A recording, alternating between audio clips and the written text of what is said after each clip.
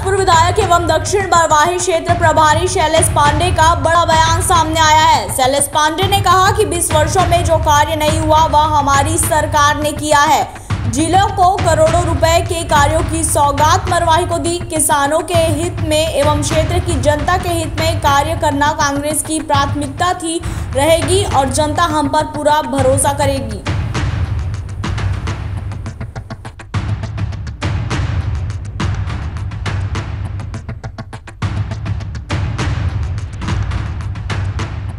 लेकिन कांग्रेस ने इस सीट को हमेशा गंभीरता से किया। जब से सरकार बनी, तब से हमने पेंड्रा, गोरेला और मरवाही के लिए हर चीज़ उपलब्ध करा के दी है। जनता की बरसों पुरानी मांग जो थी, वो जिला बनाना थी, वो हमने यहाँ पर किए। इसके साथ साथ माननीय मुख्यमंत्री जी के नेतृत्व में यहाँ पर साढ़े तीन सौ करोड़ के जो है विकास के कार्य स्वीकृत हुए हैं।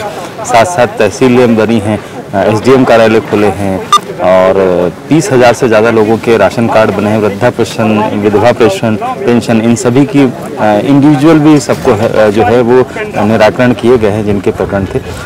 इसके अलावा बहुत सारी काम और भी हैं, जैसे कि विद्युत को लेकर, बिजली को लेकर भी बहुत सारे सब स्टेशन चार सब स्टेशन सेंक्शन हुए हैं।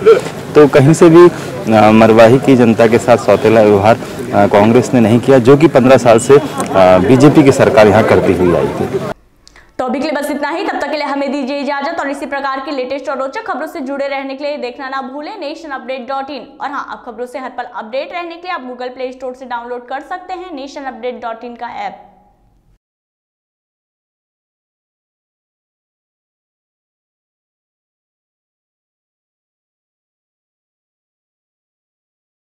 For more updates, subscribe to our YouTube channel, nationupdate.in.